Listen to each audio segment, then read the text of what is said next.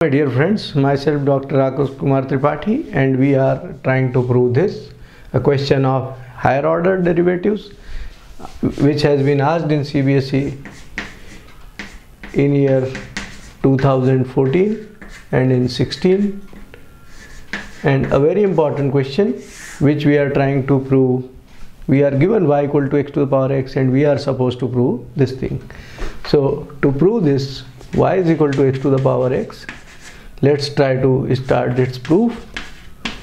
Taking log of both the sides. Take log of both the sides.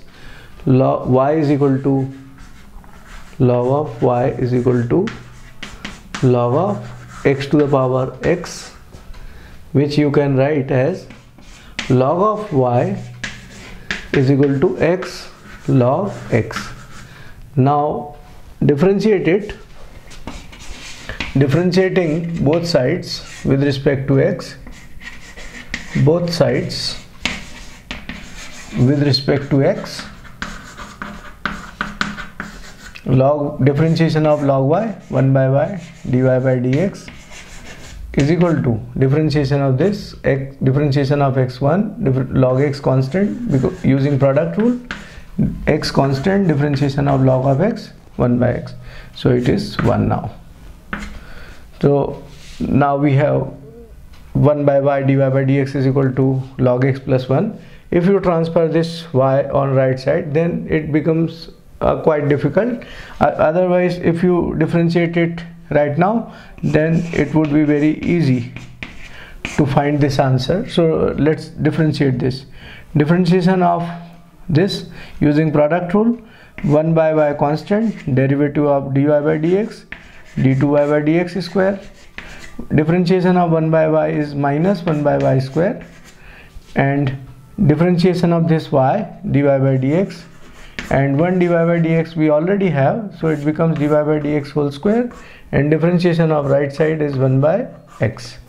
And let us see what we are supposed to prove. We are supposed to prove d2y by dx square minus.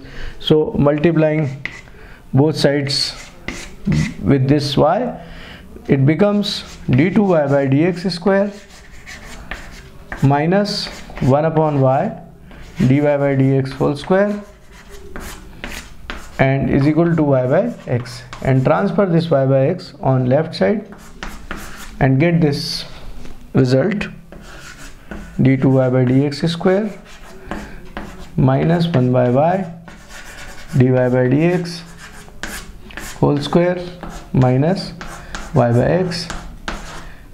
If you wish to transfer this y then you can try at, at home.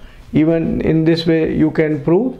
And please let me know what problems you are facing in proving by transferring this y on right hand side. And do like my channel subscribe it and share it with your friends. Wish you all the best